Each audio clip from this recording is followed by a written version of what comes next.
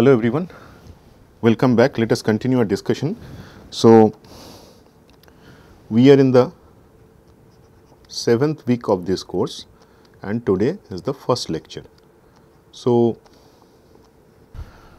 right now if I just quickly sum up what we have done is uh, if we have say a frame structure then we have solved the problem for different loading conditions and different solution strategy.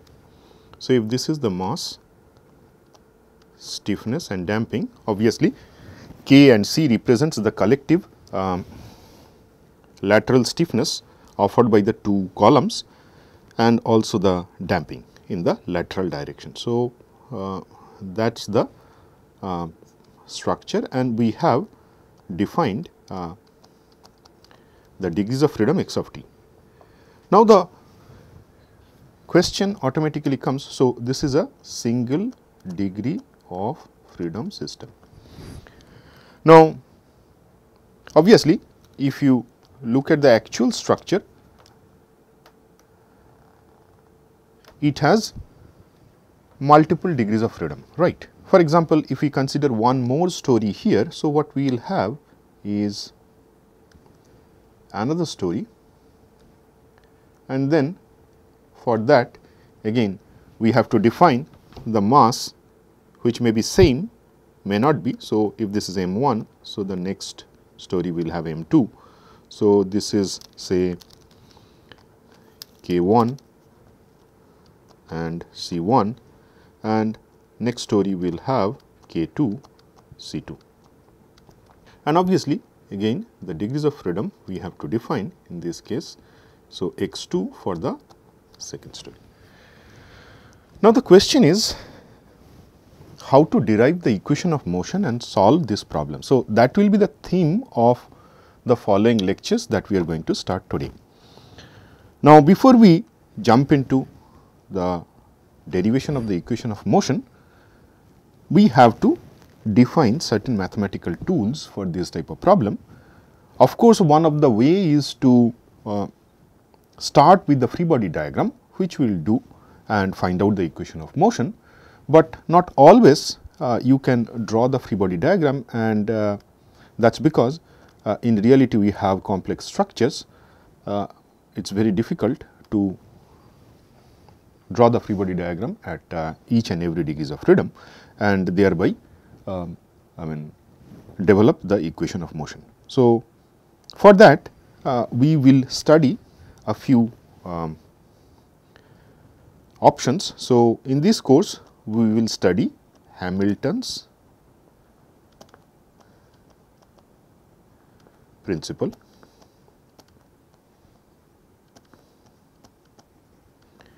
Then Lagrange equation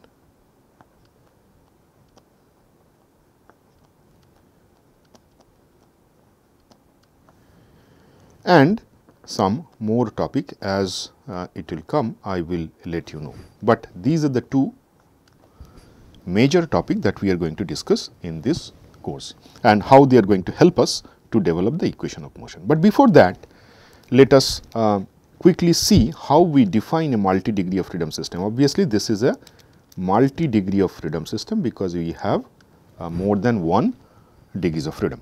So, obviously, the first uh, story will have x 1 of t. Now, if you look at the degrees of freedom, what are they? x 1 and x 2. Now, let us revisit the degrees of freedom and for that we will again go back to the old example of pendulum and we will come back to this uh, two storied frame, but let us first quickly consider this pendulum and see how we define the degrees of freedom. Now, in this case what we have if you recall we have a bob which is suspended by a cord. So, this inextensible cord actually gives us the constraint condition. So, we have a coordinate system x and y it is the origin. Obviously, this pendulum vibrates in two dimension. So, I am not considering the third dimension which is perpendicular to the plane that is not required for the time being. So, that is why I am not writing. So, we have a Cartesian coordinate system x and y. Now, in xy plane this bob moves. So, what we do? We give a initial displacement and then um, allow the bob to move obviously it will rotate along this dotted path or it will swing. Now, because this cord does not change its length. So, the coordinate of the new position of the bob x and y they are not independent if you recall. So, what is the constraint condition we have x square plus y square is equal to L square. And using this relation we can actually reduce these two coordinates of this point into one and that is what we define theta. The angle it makes from the vertical position or the initial position. Obviously, the degrees of freedom DOF in this case is theta t. And we develop the equation of motion in terms of this variable theta t. So, what we do? We plot the response. We have already derived the equation of motion, I am not writing that. So, what we have is theta t and then we plot the motion.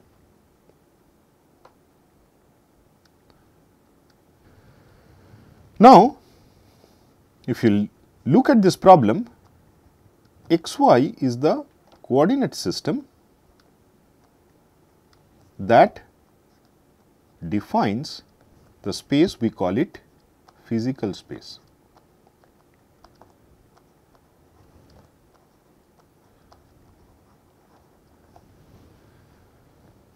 And then this theta is what we call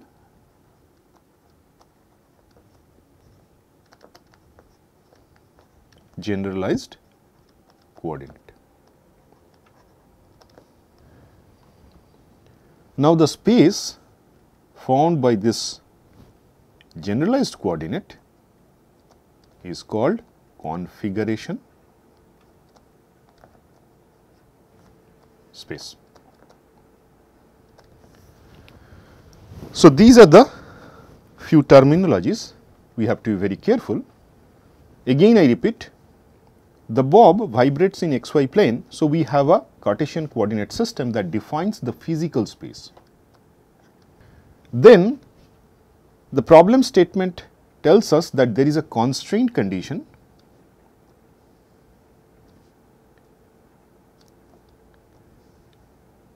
This constraint condition ensures that the length small n does not change with time and then we have a new variable theta t which we call generalized coordinate. And if you recall the definition of the degrees of freedom, we said that it is the minimum number of independent coordinates we need to describe the deformed shape of the body, right. So, in this case we have only one. And the moment we define the generalized coordinate, we define a space, we call it a configuration space. So, these few terminologies will be sufficient for the time being. I am not going into the details of other mathematical descriptions of uh, this dynamic problem, but for the time being one point to be noted is that if you look at the constraint condition, it involves x and y only. Now, this type of constraint condition if a system satisfies we call it holonomic system.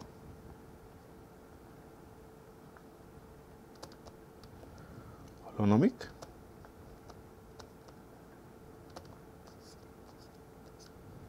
So, the constraint conditions are defined by x and y only. Fine. So, if I just extend this logic for our system what we have here again in this case we have a coordinate system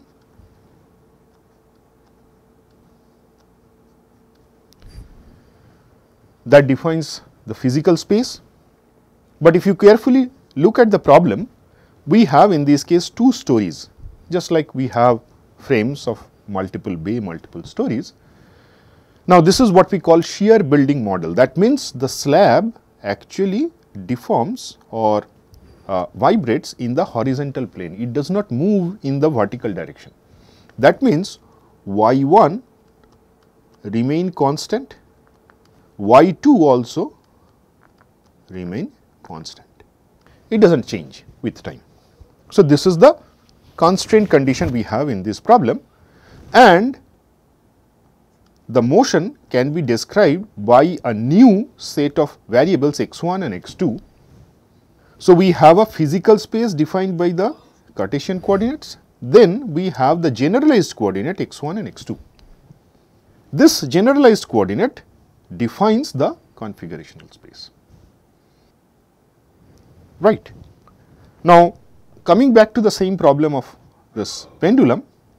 So, if we have a cord which actually changes its length that means this constraint condition is no longer valid then how many degrees of freedom we will have we have to consider both x and y because the bob will swing in the xy plane at the same time it can also move away from this origin O. So, in that case we will have 2 degrees of freedom and the generalized coordinate will match with the physical coordinate which may not be always true. So, in this problem of uh, portal frame we have a physical space defined by the Cartesian coordinate and then we have a generalized coordinate that uh, defines the deformed shape of the body. Now, the question is if we have a dynamical system and then as time progresses the dynamical system moves from T 1 to T 2 in time and if you have a generalized coordinate say x k for the problem of pendulum we have theta. So, is there at time t 1 a position we mark it say A. Then at time t 2 it goes to a position we call it B. The question is during this excursion from t 1 to t 2 which path the body is going to follow. Is it this one is it this one or is it this one or can be many other different paths. Out of all these possibilities, which one the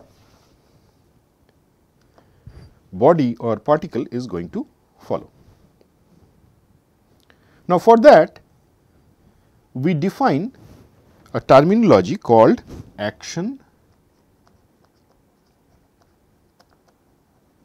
integral. What is that? The action integral is actually defined by say I is the integral between time point t 1 to t 2 of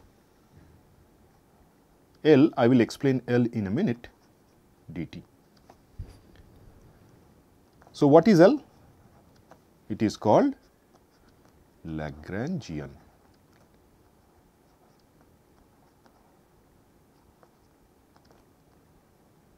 And this is equal to T minus V, where T is the kinetic energy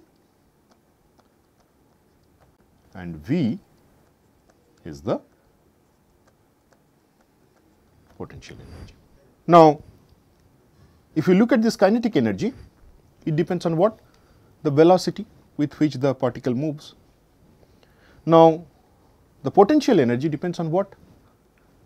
It is the position of the particle that actually defines the potential energy.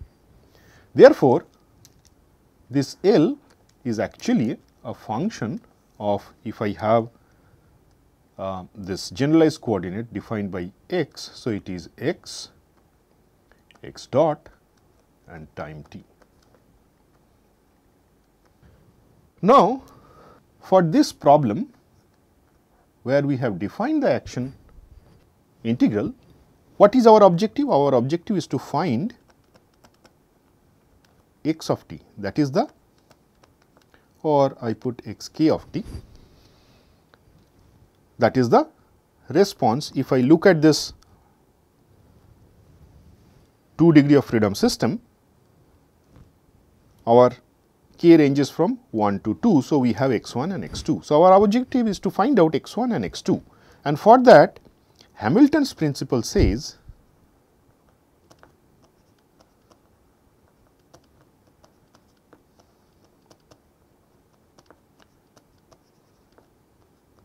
that if we consider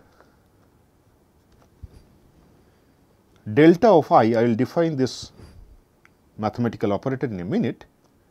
Obviously, I have to apply the same operator on the right hand side of the equation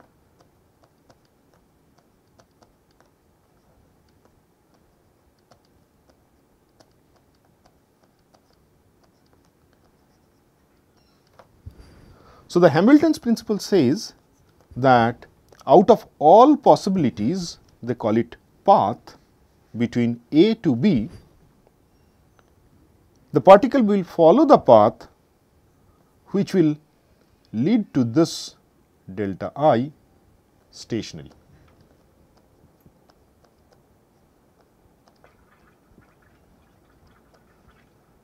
Obviously, I have to now define what is this delta which we will do in a minute and we also have to define what we mean by stationary. But at least the problem statement is now clear that we have a set of particles as in this case we have say m 1 and m 2 moving along x 1 and x 2 and our task is to find out x 1 which is a function of time, x 2 which is also a function of time, then what we can quantify is the Lagrangian that means it is the difference between kinetic energy and potential energy. Now, the moment we do that we can also quantify the action integral I and then the Hamilton principle says delta of I delta is called is the first variation. We will define that in a minute. So, we will get x of t as the solution of this problem such that it will lead to this first variation to stationary and if that condition is satisfied obviously delta i will be equal to 0. So, this is what we have to satisfy to get what we will get? We will get the path that means the particle moves from A to B. So, we have defined the Hamilton's principle, we will explain all this terminology in a minute and we will see how we can use this information to derive the equation of motion. But before that, again let us quickly go through the terminologies that we have defined. First thing is physical space that normally defined by the Cartesian coordinates we generally use. Then in that physical space, we have a body that moves from one position to another position and then for that deformed shape we define a set of coordinates we call it generalized coordinate. And the moment we define generalized coordinate and the number of generalized coordinate would be the degrees of freedom that we have to define the deformed shape. Obviously, these coordinates are minimum number of independent coordinates we need to define the deformed shape. Now, once we do that, Then for a system which is holonomic, I have already defined what is holonomy. We have some constraint condition and uh, this equality constraint has only you see x and y. Then we have the holonomic system. Then we define the Lagrangian which is the difference between kinetic energy and potential energy. The moment we define Lagrangian, we can find out the action integral between time point t 1 and t 2 and then the Hamilton's principle says that the first variation will be equal to 0. So, what we have defined now is called generalized coordinate. Okay. This is important.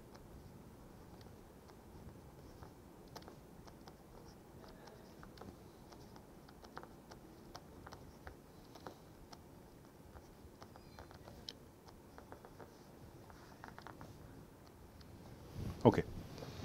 Now, the question comes in our mind that we will explore first variation and then Hamilton's principle, Lagrangian, Lagrange equation. But even before that, if we have say a beam and then uh, it is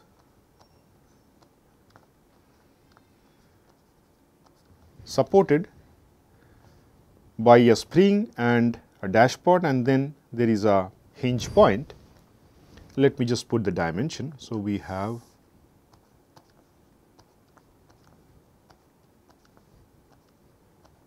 these are L. So, the beam has a length of 3 L and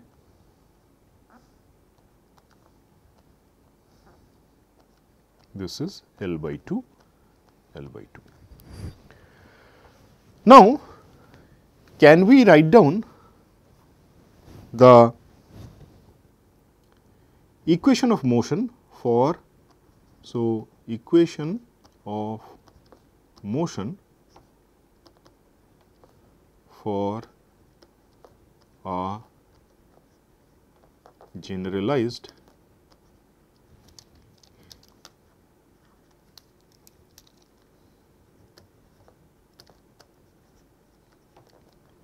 SDOF system.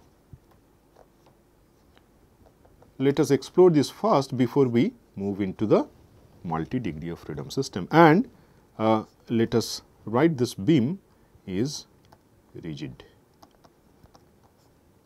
right. So, if the beam is rigid obviously we have to also define an external load. So, let me just define that. So, we have a triangular load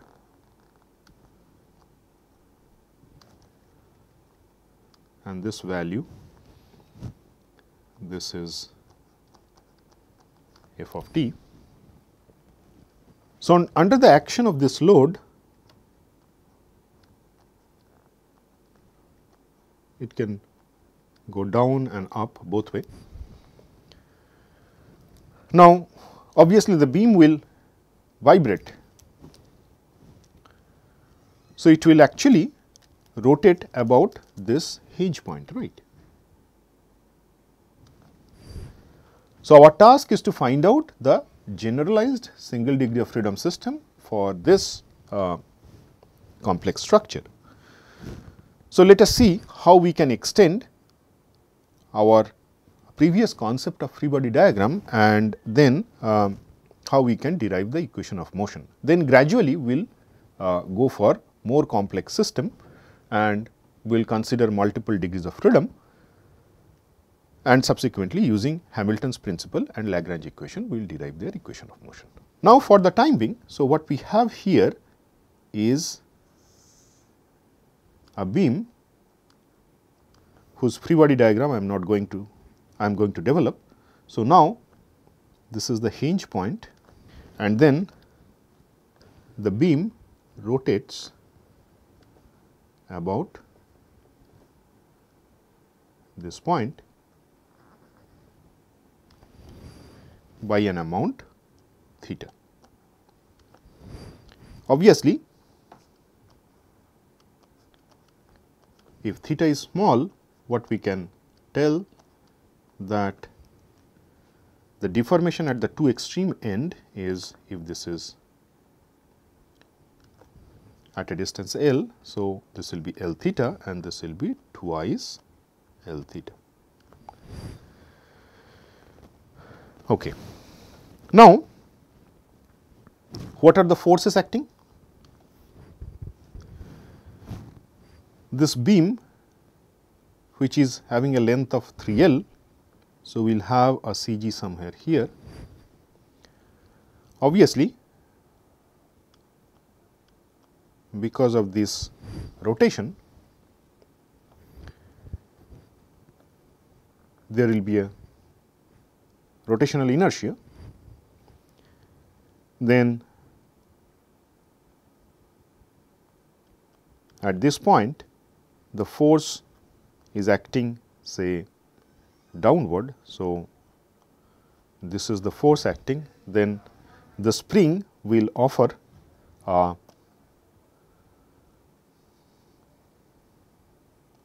restoring force and we will also get a damping force. And then because the beam moves in this direction, so there will be a inertia force also acting. So, we have identified all the forces. So, let me just uh, write down the spring constant say k, damping constant c, mass per unit length is defined by m bar. Then obviously, this will be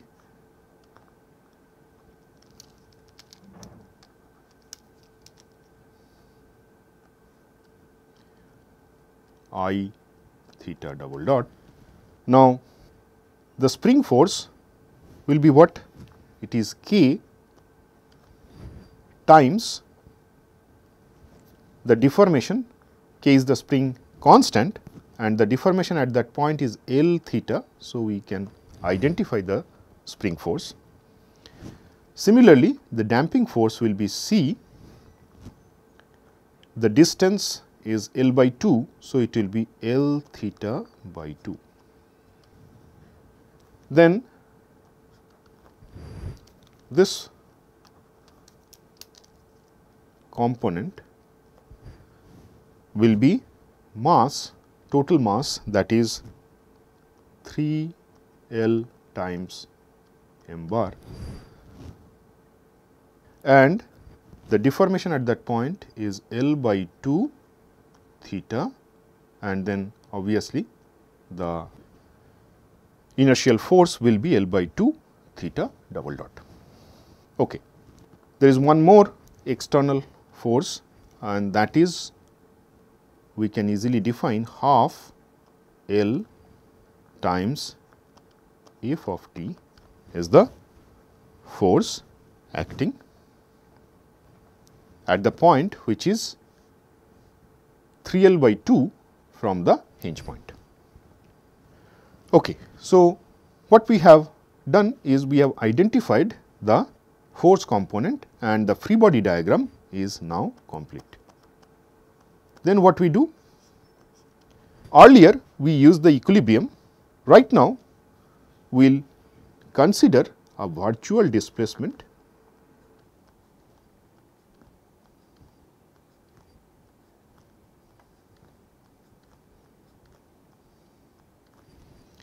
This virtual displacement is delta theta. Now, if that is the case what will happen?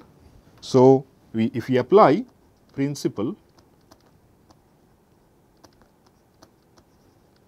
of virtual work, then we can identify the total work done. So, let us start. So, first component i theta double dot times delta theta. plus second component is 3 L m bar L by 2 theta double dot and then at that point the deformation virtual deformation is L by 2 delta theta plus you have a spring force. So, k times L theta and the virtual deformation at that point is L delta theta then plus we have the damping force and that is C L theta by 2 and the virtual displacement at that point is L by 2 delta theta. Then minus we have an external force that is half L f of t times the virtual displacement along the path of this force is 3 L by 2 delta theta and this is equal to 0. So, what we have done? We first develop the free body diagram, then apply a virtual displacement and then apply the principle of virtual work that gives us this equation. And what we can do, we can take this delta theta common. So, what we have inside the third bracket is i theta double dot plus we have 3 L cube by 4 m bar theta double dot plus k L square theta plus C L square divided by 4 theta minus 3 L square by 4 times f of t is equal to 0. Obviously, delta theta is not equal to 0. Then what we have i, we can take this theta double dot common. So, what we have 3 L cube by 4 m bar times theta double dot plus c L square by 4 theta dot, one theta dot is missing.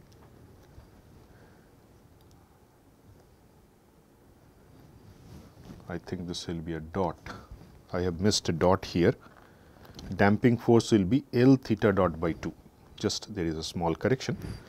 So, we have identified the damping force and then K L square theta is equal to 3 L square by 4 f of t. So, that is the equation of motion we are looking at. So, what will be the natural frequency of the system? Natural frequency will be square root of k L square divided by i plus 3 L cube by 4 times m bar.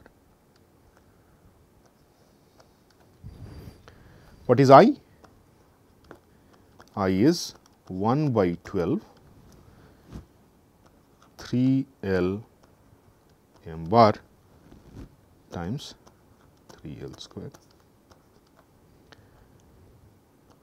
So, you can calculate that it will be 9 L cube m bar divided by 4.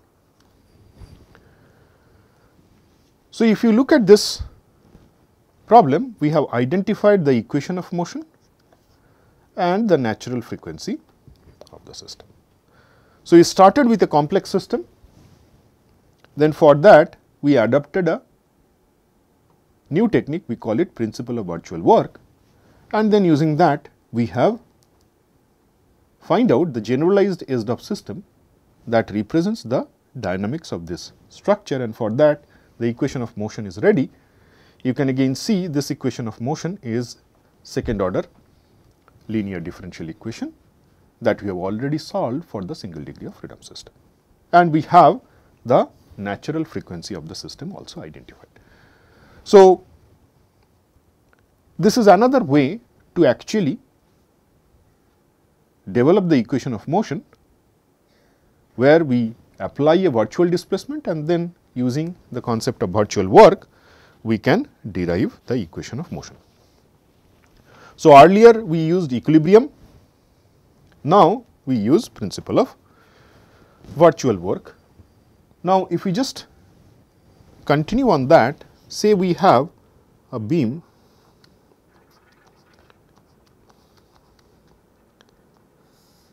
and this beam is having UDL. So, this is f x of t and then obviously we first define the coordinate system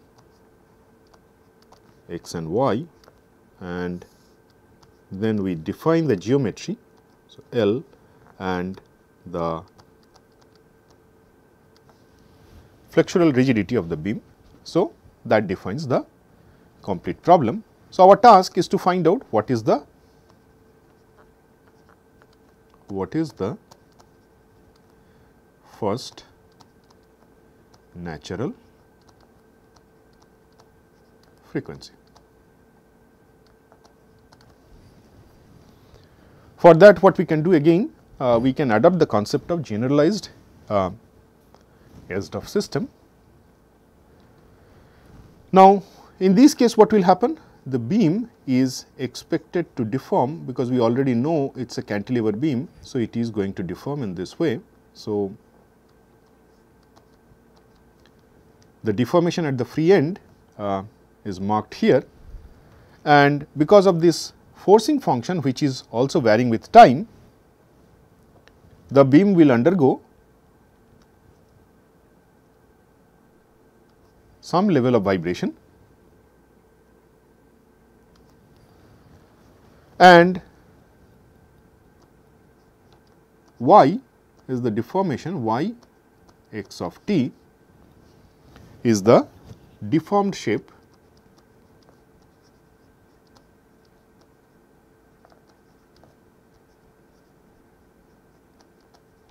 of the beam. Now, ideally speaking, how many degrees of freedom we have in this case? Because if we consider every point along the path x that we need to define the deformed shape. So, it has more than one obviously infinite number of degrees of freedom in this case, but we can consider this continuous system and we can find out the first natural frequency very easily. For that what we do, we define this y x of t using separation of variables. So, this is phi of x times say y of t. So, the free end deforms with time by a function y of t and then we multiply that y of t by this phi of x we call it shape function. Obviously, the value of shape function will be 1 at the free end and then we can define the deformed shape of the body. Now, in this case what is the kinetic energy? It is 0 to L half we consider a differential element. So, we have mass per unit length say m bar times dx that is the mass of the differential element dx from the origin at a distance x and at that point y dot x comma t is the velocity. Now, if you look at the expression of the deformed shape, what is y dot x comma t? It is phi of x times y dot of t. So, if we put that expression here 0 to L half m bar then we have dx in place of y dot x we have phi of x times y dot of t. Now, obviously the integral is over x. So, we can write down this as half m bar phi of x. Oh, there is one square missing here half m times v square. So, this will be square, this will be square. So, we have phi square x dx y dot square t, which means this is what? This is the mass of the equivalent SDOF system. So, what we have here is half m equivalent times y dot square of t. Our mass equivalent for the generalized SDOF system is 0 to L m bar phi square x dx. Fine. So, if we now find out what is the potential energy, sorry,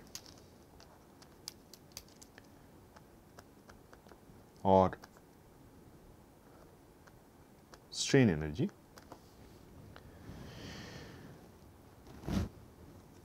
So, we define it by the term V and that is what? This is equal to 0 to L half m of x times d theta. What is m or m of x? This is the bending moment at x.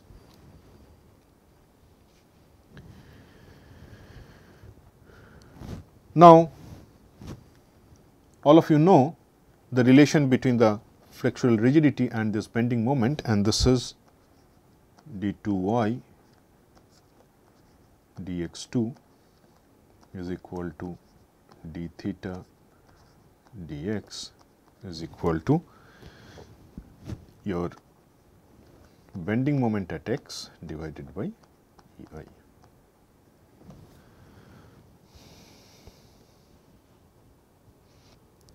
Now, if we define y x, so we can actually find out what is dy dx and for that we have phi prime of x times y of t. Similarly, we can also find out what is d 2 y dx 2 and which is equal to phi double prime x y of t. Okay. So, what is d theta? D theta is equal to m x dx divided by E i.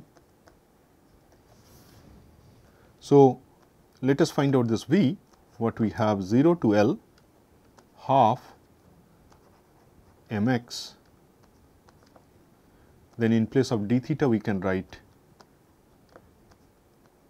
m x dx divided by E i. So, ultimately what we have half m square x. So, 0 to L half m square x and for that we can write down E i times we have d 2 y dx square whole square dx divided by E i. So, this is equal to 0 to L half E i and then in place of d 2 y dx 2 we can write down phi double prime x y of t whole square then dx. Again what we can see the integral is over x. So, we can collect all the terms. So, what we have L half E i phi double prime x whole square dx times y square of t. And this we can write half k equivalent into y square of t. So, what is k equivalent? This is integral 0 to L E i phi double prime x whole square dx. So, we have identified the stiffness and mass of the equivalent system. So, what will be omega n that is the generalized fast natural frequency or omega, omega n square, it will be k equivalent divided by m equivalent. So, we have derived the fast natural frequency of the generalized um, SDOF system for this case. Now, we can also write down the expression for damping and the external force. Let us complete that problem and then we will move further. So, for that let us make some space here. So, because we need the diagram. So, we have the deformed shape and uh, we will define damping force first and then we will consider the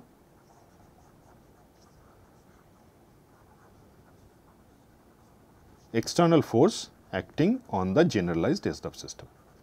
So, once we identify mass, stiffness, damping and the force, then we can write down the equation of motion.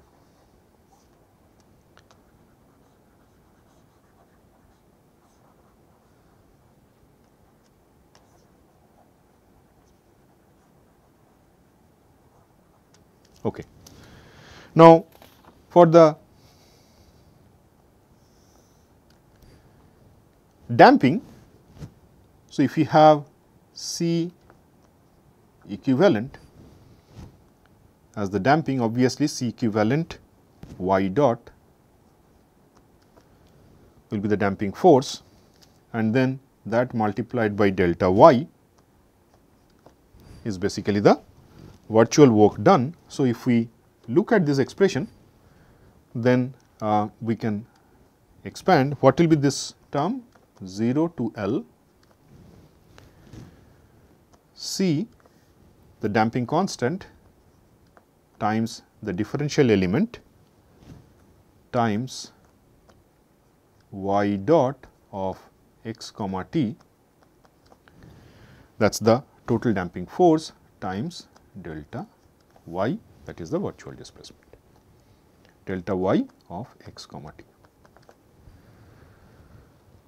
So, if you look at this uh, expression of deformed shape what will be delta y comma x comma t it will be phi of x times delta y of t. So, obviously, if we put all the expression what we have 0 to L C in place of y dot x comma t what we will have phi x that is a function of space then times y dot of t then for delta y we have phi of x times delta y of t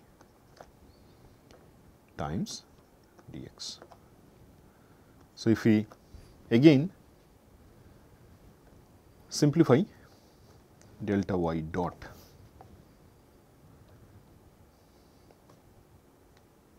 or sorry delta y yeah. So, what we have 0 to L C phi square x dx y dot of t times delta of y t.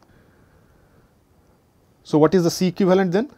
C equivalent is equal to 0 to L C phi square x dx. So, we get the expression of equivalent damping. Now, the last component is actually the external work done and that we can again uh, define very easily. So, if we consider the external force, the external work done will be 0 to L f x comma t dx that is the force times delta y and again in place of delta y what we can write is phi x times delta y of t. So, this is equal to 0 to L f x t phi of x dx and then delta y of t. So, what is force equivalent? It is 0 to L f x comma t phi of x dx. So, we have identified equivalent mass, you also have equivalent stiffness, then equivalent damping and the equivalent force. So, we can easily write down the second order linear differential equation that describes the motion of this body. Ultimately, what we will solve from that equation is capital Y of t that means this quantity and the moment we identify the solution we can completely define the deformed shape because we have already defined the shape functions. So, now you have seen that there are different ways we can actually adapt for uh, developing the equation of motion and the main point to be noted in these problems is that if we have a complex system as in this case we have this beam, we can write down the generalized SDOF system and then the equation of motion for the generalized SDOF system and then we can solve it. Although, we know that this system is having multiple degrees of freedom. Of course, for that system we will derive the equation of motion, but the point to be noted here is that even if we have a multi degree of freedom system, we can convert it into a equivalent single degree of freedom system and for that we can adopt the principle of virtual work and then using that we can establish the equation of motion. As we progress in this course, we will solve some more problem using this concept and we will see how just by assuming the shape function or the deformed shape of the body, we can easily derive the natural frequency, first natural frequency at least for the system. Because from the designer's point of view, it is the natural frequency that is the most important parameter, because we have already discussed the response spectrum method. There the input for that response spectrum analysis is basically the time period. So, if we identify the natural frequency of this system, then we can find out the maximum response from the response spectrum for a given earthquake and obviously for a given damping level. Damping also we have estimated. So, we can find out what is the equivalent critical damping ratio. So, from this we can find out easily what will be equivalent critical damping ratio. So, using this information we can find out what will be the maximum response of the structure and the moment we quantify maximum response we can use that information for our design. So, that completes the problem, but the point to be noted here is that we can use the concept of equilibrium where uh, we use the Newton's law or D'Alembert's principle. We can derive the equation of motion. We have discussed the principle of virtual work and then using that also we can derive the equation of motion. Obviously, the moment we adopt this uh, technique, we first need to assume some shape function which is um, consistent with the deformed shape of the body. That is a huge task for a complex structure, but at least for some structures we can easily identify as in this case of a cantilever beam because we know how the cantilever, cantilever beam deforms and for that we can actually write down a possible shape function and then we can solve this problem very easily. Obviously, if we have a wrong shape function, then our estimations will be erroneous. But as I said for a large class of problem, we beforehand know what will be the expected deformed shape and for that we can easily adapt this technique and find out the natural frequency. So, with that let me close here, we will continue our discussion. First we will see how we can use other techniques. So, first we will consider the conservation of energy and then using that we will again derive the equation of motion because we have mostly the systems that we deal with they are conservative system. So, if we have a system where the energy is conserved we can use that principle to derive the free vibration equations very easily that we will discuss in the next lecture and then gradually we will move over to multi degree of freedom system with the help of Hamilton's principle and Lagrange equation. Thank you very much.